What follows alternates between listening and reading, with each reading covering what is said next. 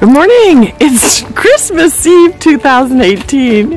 It's so yucky out. It's cold and it's wet. It's raining. Oh my goodness. So, Mr. Dolan, tell us what's going on here today. So today we have our set crew from Pennsylvania who's going to be putting together this uh, 24 by 38 foot, two bedroom, two bath home that was built by Redman Homes. And today the set crew is basically laying out the block. They're going to bring both halves together, put on the siding and the roof, and it'll be all done probably within about five or six hours. So, what time did they get here? They were here around 7. Well, normally they're here at 5 a.m. How, how far do they drive to get here? A lot? It's about a three hour drive. Oh, okay. So, it looks like you're going to be doing the sidewalk also? Yeah, the sidewalk's going to be replaced. Wow. Patio. That's a lot of We'll sidewalk. be putting a patio and a small deck on the front, and there's a patio on the back.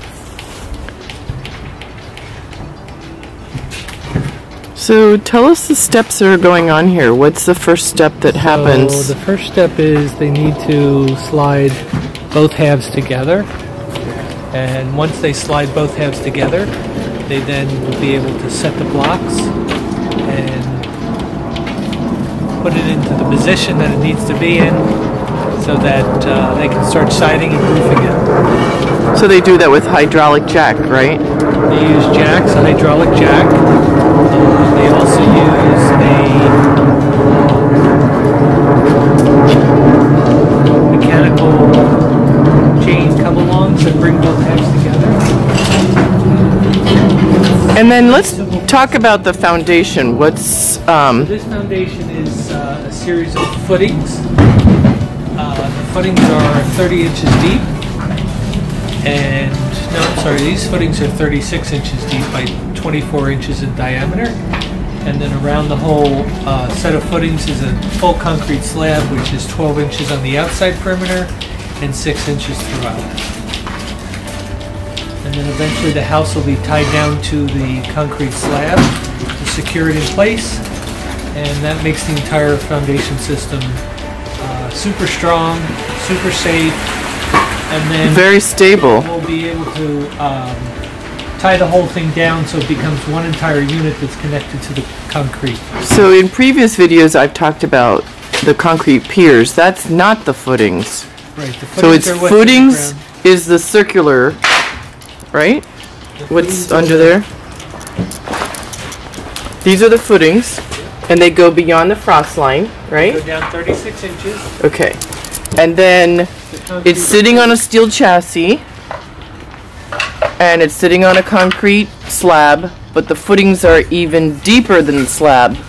Yeah, the footings are 36 inches deep. Okay, The so- 12 inches thick on So- the outside edge and 6 inches throughout the whole center. and this material is for the piers which actually sit under the chassis in the under the steel frame. So there's actually in my mind four parts of the foundation. The footings, the slab, the piers, and then the straps. Yep, and this has uh, 24 footings, and these 24 footings is what supports the house.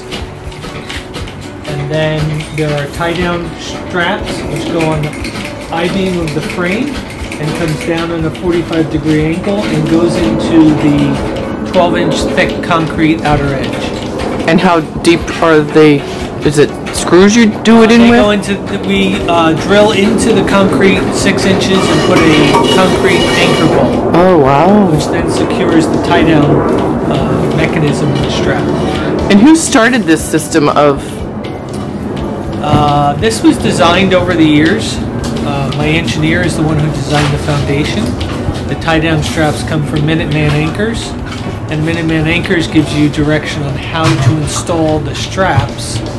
Uh, so we basically are following the instructions of the engineer in designing and the building of the slab, and then we're following the uh, installation instructions for the tie down strap. Now, as I understand it, not everybody builds houses like this.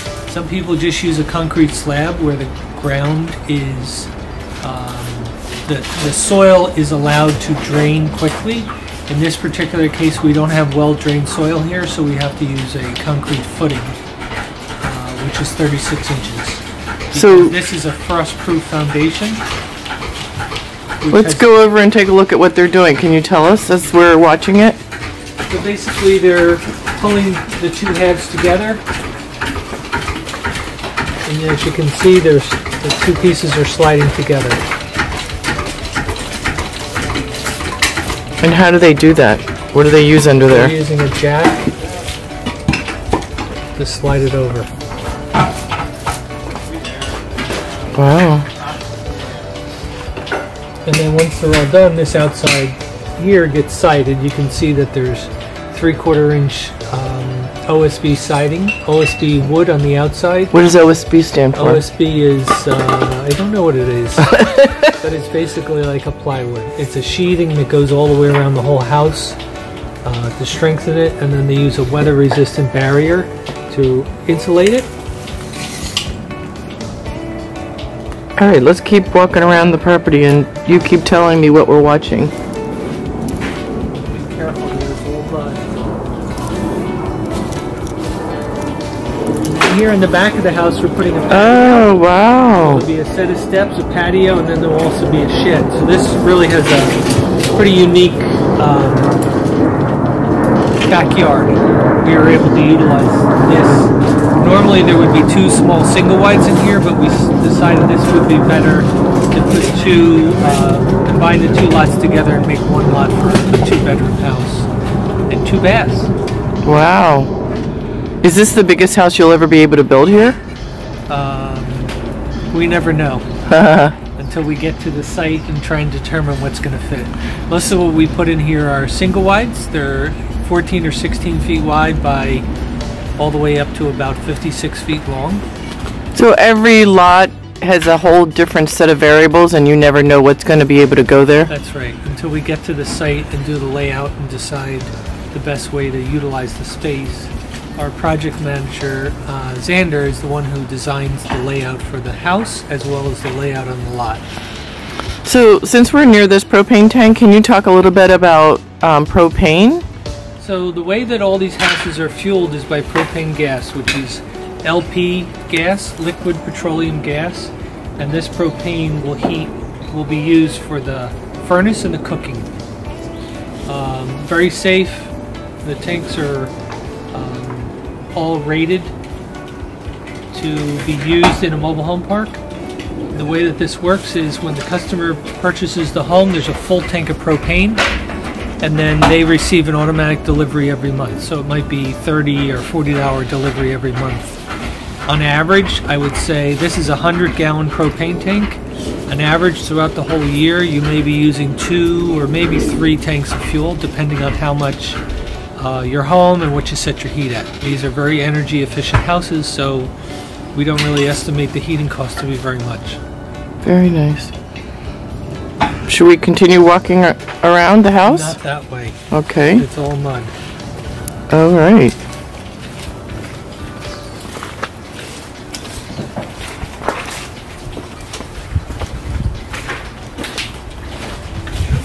Good morning. Hi there. How are you? okay. I'll just keep looking at the house. How are you feeling? So the other thing that we're doing is on the front, there'll be a four by eight uh, step with a concrete pad, which will come down onto the sidewalk. And this area here is going to be all open, where the shed will be sort of set back where those uh, Meters are? electric meters are to kind Okay. of hide the meters. So it's going to be a great lot, a great, you know, we're doing everything first class. The sidewalk, the patio. Um, so It's a beautiful house.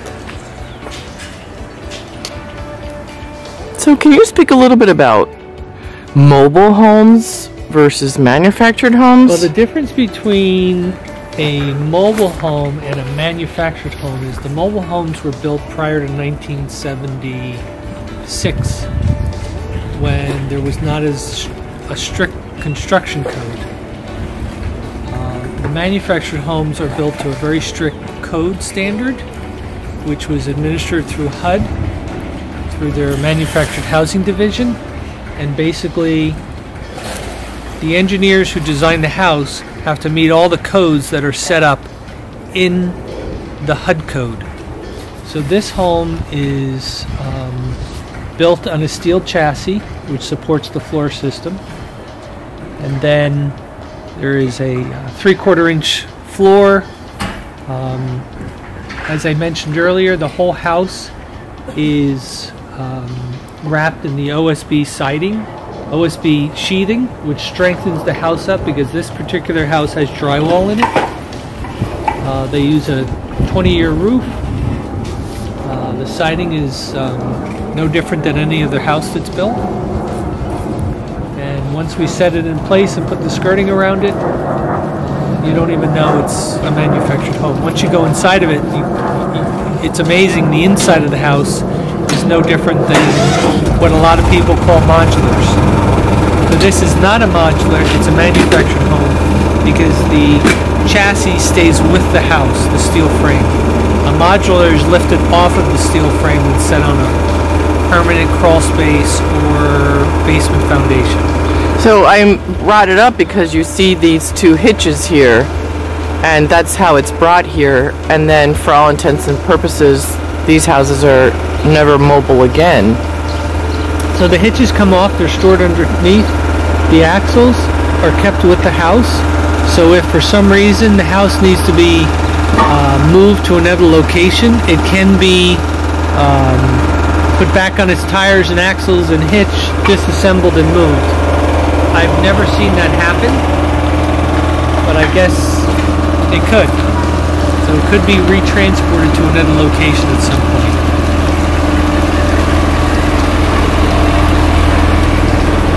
All right, so uh, we're going to sign off now. We thank you for visiting us today with Mr. Dolan, who's been in the manufactured housing industry for over 35 years.